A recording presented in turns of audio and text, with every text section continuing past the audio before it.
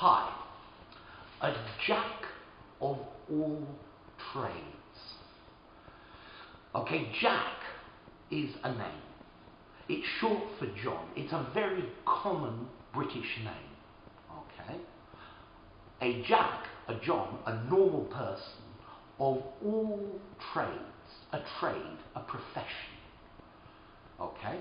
So a jack of all trades is a person who knows how to do many different things.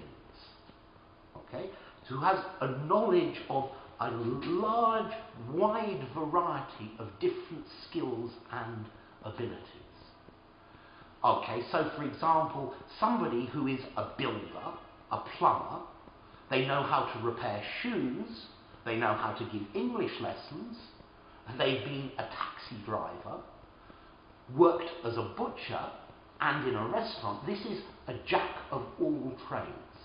A person who has experience in a variety of different professions.